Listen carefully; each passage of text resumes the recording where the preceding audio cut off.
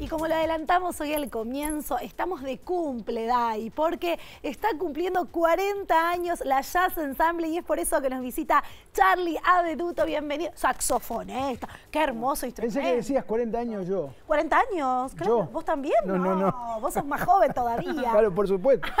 Por O tenés la misma edad que la Jazz Ensemble. ¿por qué Como mínimo. ¿Cómo estás, Charlie? Bien, bien. ¿Cómo están ustedes? Igual tampoco estamos muy lejos, porque digo, ustedes cuando armaron la Jazz Ensemble eran unos niñitos. Éramos, estaban- éramos adolescentes. eran muy chicos. Éramos adolescentes. eh, te- yo tenía 16 años. eh, Pedro Casís, que siempre fue nuestro director, eh, tenía 20. Cacho, que es el guitarrista, que somos los, los tres que más que, que quedamos de los más viejos, habrá tenido 22, 23. Claro, también. Así que estábamos ahí. Éramos un grupo de adolescentes que nos juntábamos a tocar. Y ya empezaron ahí con la música, todos ya eran músicos. ya Éramos todos músicos, estábamos todos estudiando y bueno, em- empezamos escuchando discos, LPs, los famosos LP, que era muy difícil de conseguir en esa época un LP, entonces eh, cada uno que conseguía uno era un evento. Claro. Donde se Conseguí, reunían todos.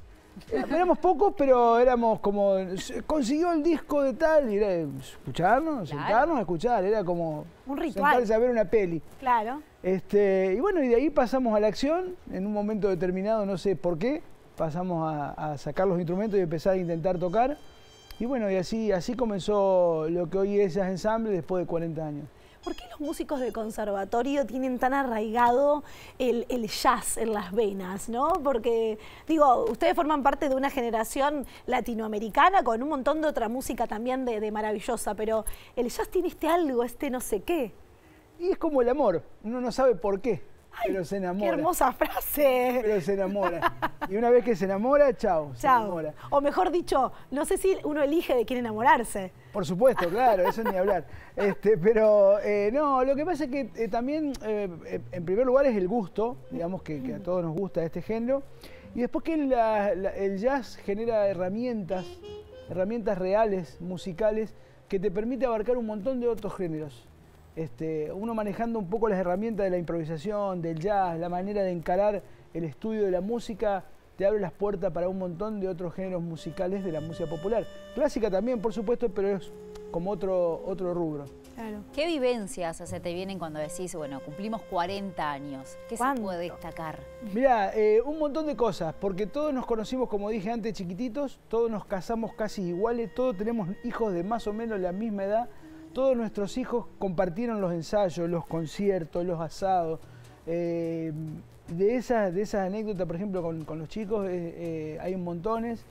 Y ahora somos todos grandes, algunos son abuelos y estamos de vuelta, estamos de vuelta en ese, en ese, en ese plan. Pero, mm, y después lo otro fue el, recambio generacional y un poco el semillero que hizo Jazz Ensemble con, con lo que nosotros llamamos el ensamblín o la Jazz Ensemble Junior, que generalmente son alumnos nuestros, todo, el- la mayoría de los que integramos Jazz Ensemble y que nos dedicamos profesionalmente damos clases.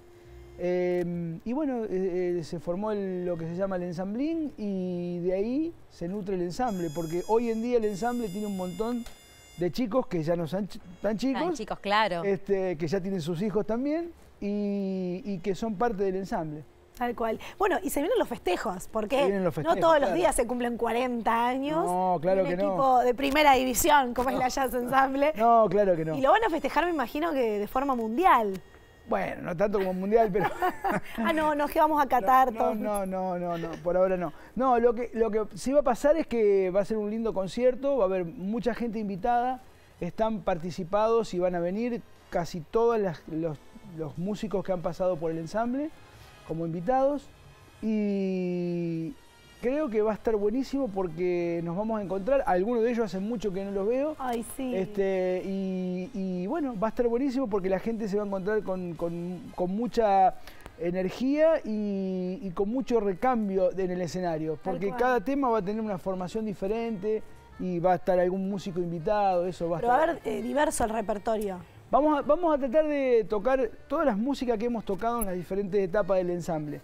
Desde eh, música de las grandes big band, de las primeras, que es la que nosotros nos nutrimos, Duke Ellington, Count Basie, hasta Tad John, que esas son big band más modernas. Sí. Vamos a tocar música de Piazzolla y vamos a tocar algo de música original de alguno de los chicos que se ha dedicado a la composición y los arreglos. Así Qué que, bueno. así que va a estar, creo que va a estar bueno, eh, creo que va a haber mucha gente, porque bueno, ese fue otro fenómeno que se generó a través del ensamble. No había público tampoco para el ensamble en esa época. Iba a decir, claro, eran sus familiares. Claro, que se- los amigos, los, los padres, los hermanos. Sin embargo, en esa época el, el jazz estaba como, era, era una música cotidiana.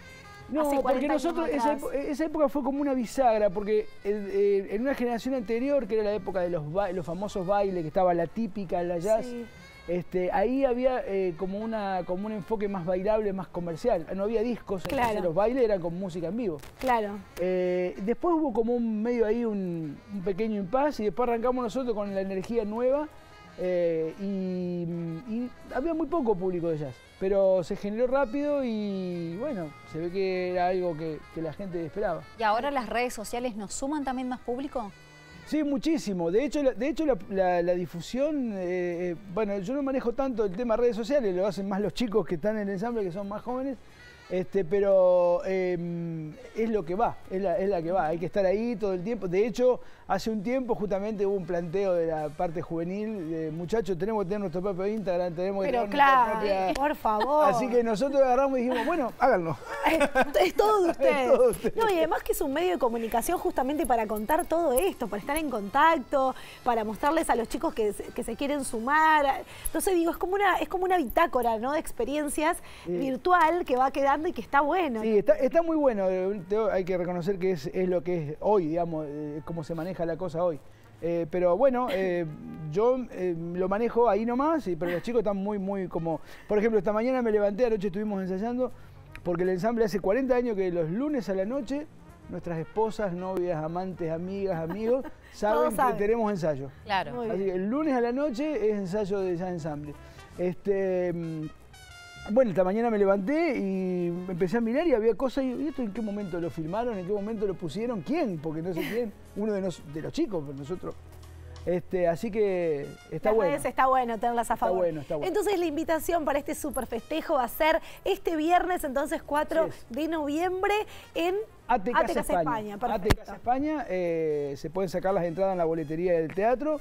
Y bueno, va a estar, creo lindo. que va a ser una muy linda, muy linda experiencia y un lindo evento. Muchas gracias por venir. No, no, gracias a ustedes Feliz por, cumple. por apoyar siempre la difusión. eh, para nosotros, los más viejos que nos manejamos con los viejos medios de comunicación, Con la gacetilla. sí, con la gacetilla que se repartía en, a mano y la repartíamos nosotros mismos, los Qué sobrecitos.